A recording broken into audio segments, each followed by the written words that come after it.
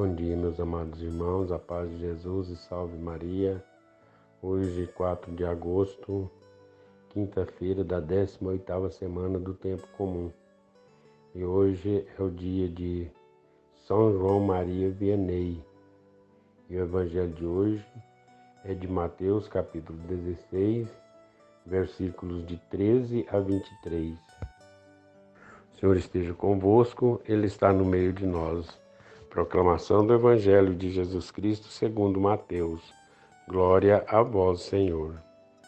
Naquele tempo, Jesus foi à região de Cesaré de Filipe e ali perguntou a seus discípulos: Quem dizem os homens ser o filho do homem? Eles responderam: Alguns dizem que és João Batista, outros que és Elias, outros ainda que é Jeremias ou algum dos profetas. Então Jesus lhes perguntou: E vós, quem dizeis que eu sou? Simão Pedro respondeu: Tu és o Messias, o Filho do Deus vivo. Respondendo, Jesus lhe disse: Feliz és tu, Simão, filho de Jonas, porque não foi um ser humano que te revelou isso, mas meu Pai que está nos céus. Por isso eu te digo: que tu és Pedro, e sobre essa pedra construirei a minha igreja, e o poder do inferno nunca poderá vencê-la. Eu te darei as chaves do reino dos céus. Tudo o que tu ligares na terra será ligado nos céus. Tudo o que tu desligares na terra será desligado nos céus. Jesus então ordenou aos discípulos que não contassem a ninguém que ele era o Messias. Jesus começou a mostrar aos seus discípulos que devia ir a Jerusalém e sofrer muito da parte dos anciões, dos sumos sacerdotes e dos mestres da lei, e que devia ser morto e ressuscitar no terceiro dia. Então Pedro tomou Jesus à parte e começou a repreendê-lo, dizendo: Deus não permita tal coisa ao Senhor, que isso nunca te aconteça. Jesus, porém, voltou-se para Pedro e disse: Vai para longe, Satanás. Tu és para mim uma pedra de tropeço, porque não pensas as coisas de Deus, mas sim as coisas dos homens. Palavra da salvação. Glória a vós, Senhor. Meus amados irmãos, mais uma vez nessa manhã de quinta-feira nos reunimos para acolher a palavra do Senhor. Acolher também mais um dia que surge em nossas vidas. Agradecemos a Deus por mais esse momento. E hoje no Santo Evangelho o Senhor nos faz uma importante interrogação, como ele interrogou seus discípulos da época, interroga nós também. Jesus pergunta a seus discípulos como recebiam a sua pessoa, qual era a sua identidade para eles.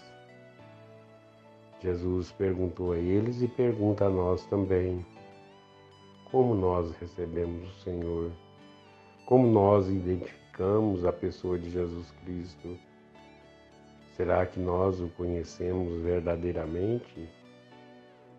A resposta dada por Pedro é uma resposta exata, se levarmos em conta quem era Pedro, pois ele era um judeu fiel. Isso implica uma grande fé e uma disposição sem condições de seguir a Cristo. Nós também devemos ser como Pedro, de muita fé para seguir Jesus Cristo. Muitos séculos se passaram desde aquela resposta, daquela resposta dada por Pedro, e nossa situação é diferente, mas também a nós Cristo segue perguntando sobre quem dizem os homens que ele é. Será que se alguém chegasse até nós e perguntasse quem é Jesus, nós saberíamos responder? Será que nós dizíamos, diríamos quem é verdadeiramente Jesus?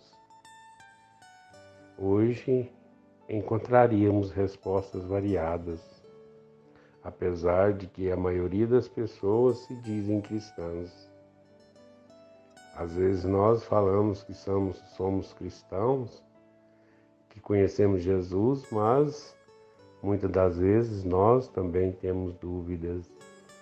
Muitas das vezes nós também é, não conhecemos Jesus verdadeiramente. O Senhor quer uma resposta pessoal. Ser cristão em nossos dias é seguir a Cristo a partir de um encontro pessoal e incondicional com Ele. Muitas pessoas que se dizem cristãs, mas não são de fato, porque ainda não seguem a Cristo com, determinar, com determinada determinação. Não seguem Jesus verdadeiramente. Não seguem Jesus fielmente. Então, queridos e amados irmãos, que nós possamos ter em nossos corações a consciência de quem é Jesus e a disposição de segui-lo. E que o Senhor sempre nos dê força e coragem para que nós nunca, nunca nos percamos na nossa fé e que Deus nos abençoe sempre.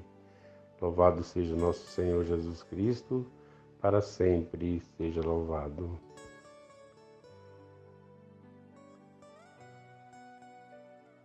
Creio em Deus Pai Todo-Poderoso, Criador do céu e da terra.